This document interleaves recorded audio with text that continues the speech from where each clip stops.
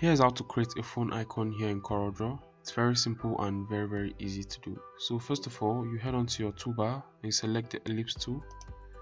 Hold on shift and control to draw a perfect circle. Hit on the spacebar to deselect the tool. Then P to fit to drawing page. Select the circle hold shift then re reduce uniformly then right click to create a duplicate so you head on to your toolbar again and you select the bezier tool. So you long press on this area then you select the bezier tool. So you hold on shift and you drag to your bottom then double click. So you hold shift to increase this uniformly.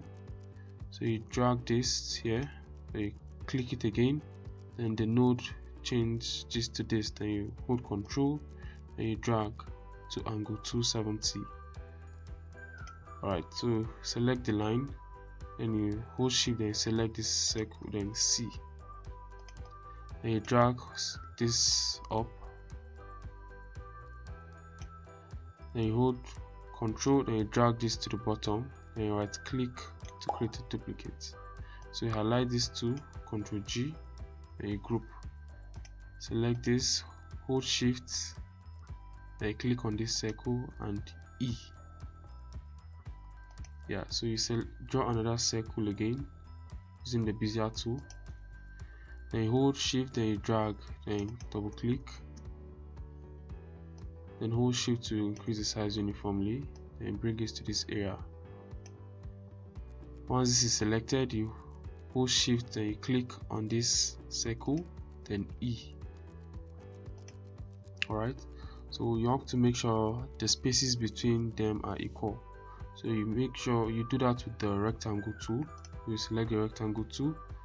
So drag this to this area. Once the once you've drawn this rectangle you hold shift then you select this then e to make sure it's at the center. So you hold control then you drag this. Then you click on this line then you hold control then you drag to this end then right click to create a duplicate. So you delete this.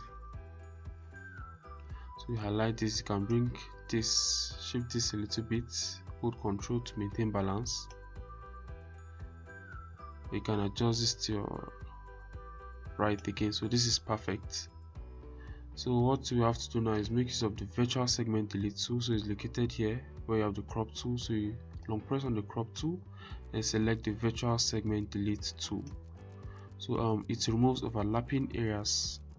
So we do this area delete this we delete remove this remove this remove this remove this.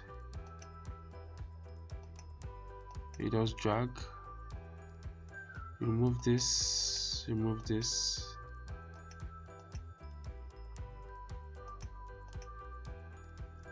so um after that is done and you come back to your toolbar section and you select the smart fill. Then you add a fill color inside this outline you've created. So basically this is it. So you right click to go to duplicate and you give it a color of your choice. So you can remove the fill color select it and delete. So you can increase the outline of this. Then you come to this property bar here and let's say 4 so um the edges are a bit broken. So you once it's selected you come to your status bar then you double click this area here. Double click. Then where you have line caps you select this one round cap. So basically this is it. Or you select whichever one works is okay with you. But basically this is what i'll go for. And click ok so once you're done this is it. You can actually use it on any of your design maybe on a business card or a flyer or whatever you're designing sit on how to design or how to create a phone icon here in CorelDRAW it's very simple and very very easy to do. If you find this video helpful please on the subscribe button turn on post notification bell to get notified whenever I upload new videos. And don't forget to like share and comment on our videos. Thank you for watching and see you on the next video tutorial Thank you.